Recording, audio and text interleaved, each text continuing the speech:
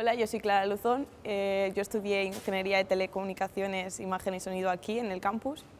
Yo recomiendo a que la estudiéis porque es un campo muy amplio, con muchas salidas y que muchas de ellas os sorprenderán. Os invito a conocerlo.